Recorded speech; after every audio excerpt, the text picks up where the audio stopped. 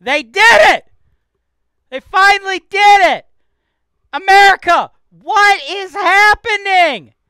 The cancel rent movement, it looks like it has finally won.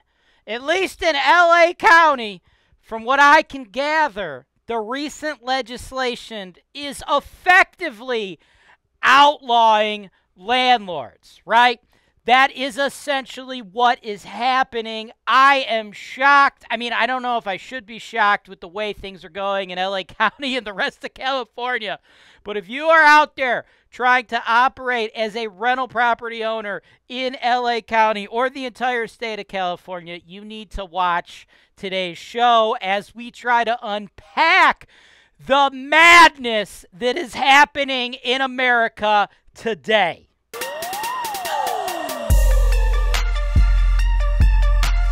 Welcome to the show, folks. My name is James Wise, and I am here to answer your real estate questions, talk to you about the hottest topics in the real estate industry.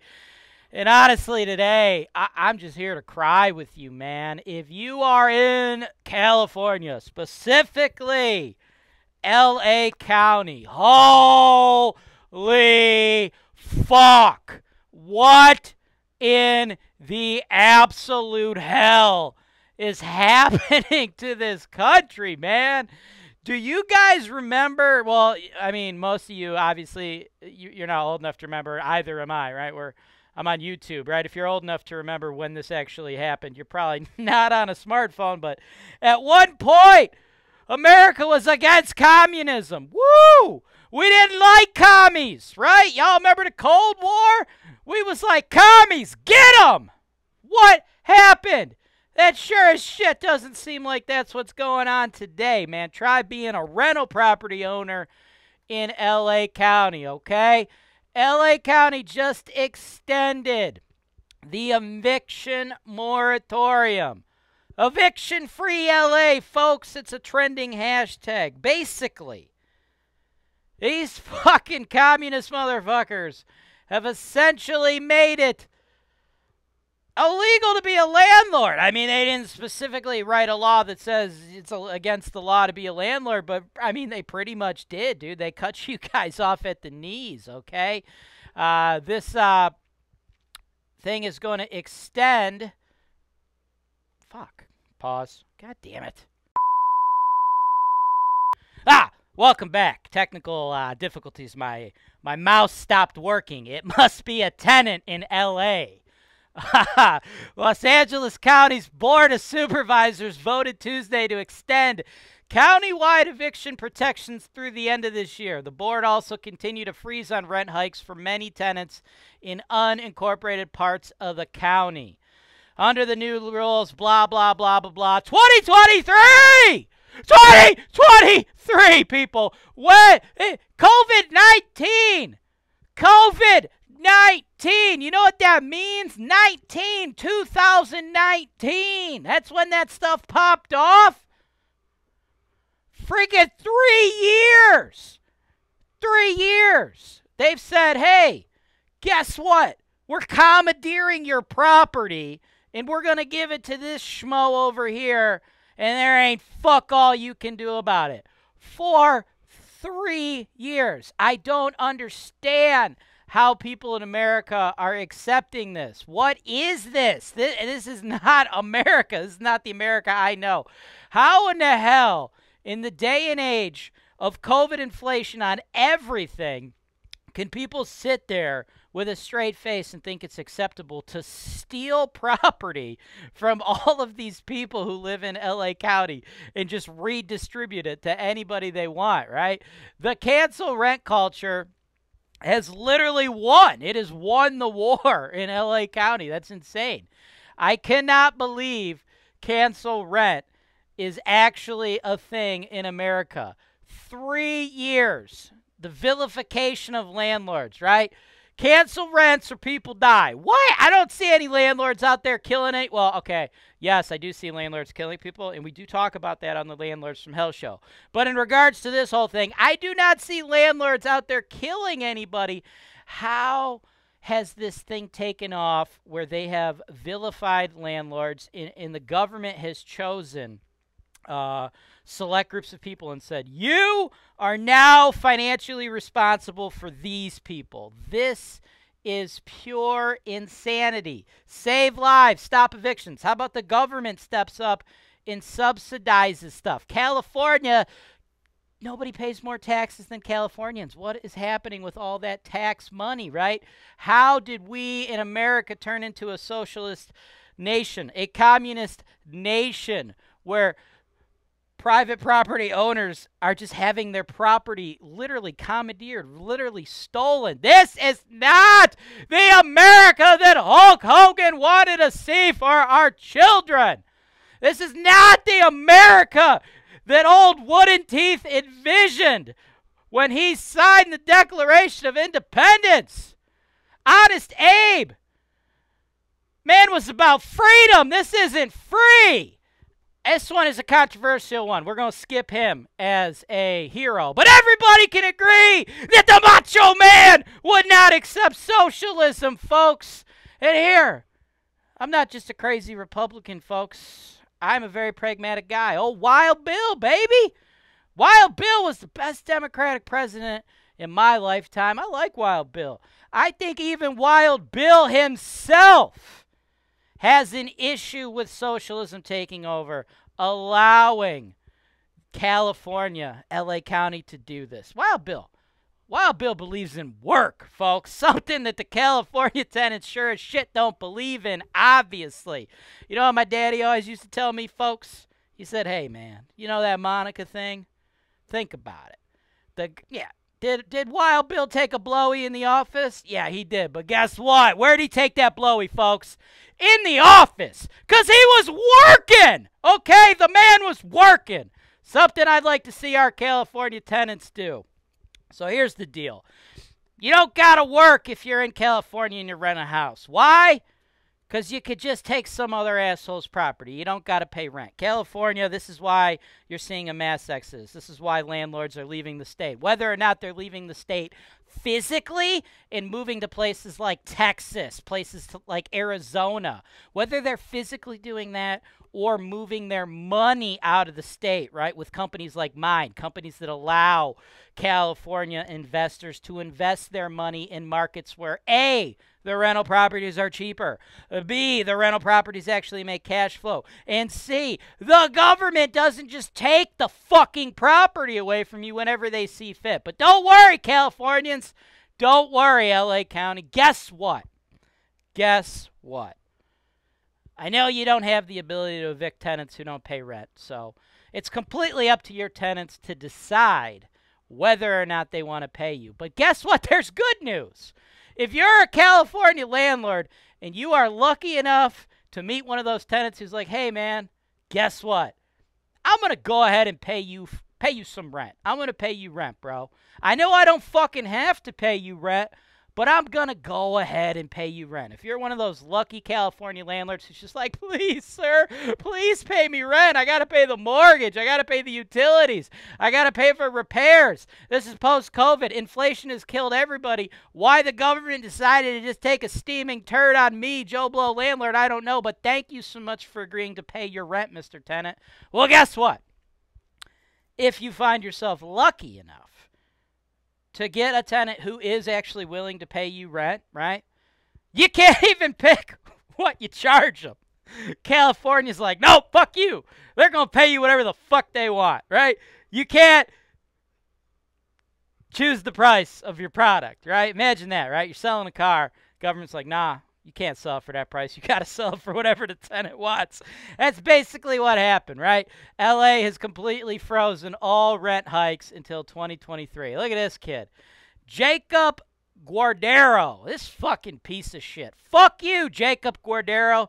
I can't believe the LA Times. Like, how do they write fucking crap like this, right? Dude, like, all right, I'm, I'm, I'm an investor, I'm a landlord myself, and constantly you get the crazy liberal media that's always out there vilifying us as landlords, vilifying us for this, vilifying us for that, right? Like, you get a tenant in your property, they steal from you, and you're outside of LA County and you decide to evict them. Everybody's like, oh my God! Landlords are such horrible people. They made that person homeless. But then at the same time, say you're a landlord, you have a tenant in your property, and you don't evict him, then you get everybody else in the neighborhood like, oh my God, what a slumlord! They're moving horrible tenants into our nice neighborhood. They're destroying our neighborhood, letting whoever they want rent to the properties, and now our neighborhood's terrible. These landlords moved in these bad Section 8 tenants. They ruined our properties. So, as landlords, when we evict people, the left vilifies us. When we don't evict people, the left vilifies us, right? So, what do we do, right? You can't evict them if you can't, if you evict them, you're you're an asshole. You made people homeless. If you don't evict them, you're an asshole. You ruin the neighborhood. So you might be thinking, well, duh, just don't put them in the property in the first place, idiot. Okay, great. So then the left can vilify you because you're denying people housing. They're just good people who need a chance. Sure, Johnny stole four cars eight years ago, and he just got out of a seven, a five, a five to seven stretch. But he's turned his life around. Yeah, he likes crystal meth on the weekends, but that's just the weekends, man. Who doesn't party, right? Why would you deny him housing? Hell, how many laws out there now are saying like you can't actually uh, utilize criminal uh, criminal history as a deciding factor for tenant screening, right? So if you put in a bad tenant, the left says nope, fuck you, you can't evict them, okay? If you put in a bad tenant and you don't evict them, the left says, oh, man, you're a horrible landlord. You ruined this neighborhood. Okay? If you just don't put in risky tenants in the first place, the left says, nope, fuck you. You're denying good people housing. Felons deserve a second chance, right? That's the kind of stuff we're dealing with. That's the kind of publications we're dealing with. And then they write stuff about this fucking piece of shit. Jacob Guardado inside his two bedroom apartment in Studio City. He moved there with a roommate in October 2020, the bottom of the rental market, and is benefiting from the freeze of rent increases. So the kid got like some crazy socialist loophole, and he's sticking it to some private property owner. Like, what in the hell is this, folks? Have like we lost all perspective? Have we vilified landlords to the point where this fucking kid is just taking advantage of somebody stealing from somebody? Like, how do you know this kid is more sympathetic than his landlord? What if his landlord is like a 95 year old grandma on a fixed income, right? And she can't afford uh, her medicine because this fucking prick won't pay her what her property is worth on the open market, right? That's the cool thing about capitalism. You might be like, ah, oh, she's charged too much for rent. Well, this is America, motherfucker. We got something called capitalism. Let little old granny put her property on the market and see what the market will actually pay. You know, this is, or at least it used to be, a free freaking country, right? After seven months of a global pandemic spent in a cramped one bedroom apartment, Jacob, Jacob Guardado and his roommate decided to make a move. They found a Studio City two bedroom in October 2020 for 1975 a month, right? So that's that's what happens in capitalism. That's what happens when we have a fair market, a free market, right? Stuff goes up, stuff goes down, stuff goes up, stuff goes down. It's called supply and demand. So let's just say they're landlord. Maybe it's a little old granny, maybe it's not. I get it. Landlords like me, big companies, y'all could vilify them. I'm sure nobody's out there like, man, I wouldn't feel bad getting one over on this bearded fuck. I get that, right? I'm not the most sympathetic guy, but guess what? I don't own this property. I don't own every property in the world. People like me are not everyone's landlord. Somewhere in LA County, I challenge you I challenge you to think, open your mind, and realize that somewhere in LA County, the landlord really is some little old lady on a fixed income, right? And supply and demand. Right when COVID popped off, nobody wanted to move. This kid, this young kid, able-bodied looking motherfucker, 28, and his uh, his, roommate there, able-bodied motherfuckers. Nothing wrong with them. They could work. They could do jobs, right? They can pay for their wages. They they found a landlord who was in a tough spot, had to take less. Hey, free market gives, free market takes. That's the name of the game. But now, now when things have picked back up, the economy's gotten uh, well, I mean, outside of Build Back Better, but like motherfuckers are working. Uh, inflation went out of control, uh, which again really hurts a little granny here on the fixed income. But now that the property's actually worth more, these two fucking pieces of shit don't see anything wrong with taking over their landlord's property, holding it hostage, right? It is just freaking sickening. I didn't want to ask, said Guardado, 28, who works in the insurance industry. He knew, he knew that the landlord had every right and it should be time for his rent to go up. He knew he was getting one over. He was hustling, he was scamming somebody. What happened to us where we think somebody hustling or taking advantage of somebody is a bad thing just because that person is a landlord? Like, Jesus Christ, man, this is out of control. But the rent increase never came, and there won't be one for a while as the U.S. nears the beginning of a third year combating COVID 19. Tenants in LA are receiving a benefit few others have. Landlords are prohibited from raising the cost of more than 650,000 rent stabilized units citywide, which represents nearly three quarters of LA's apartment block. Man, this is freaking sad. Of those 650,000 units, you don't believe at least one of those is a little granny.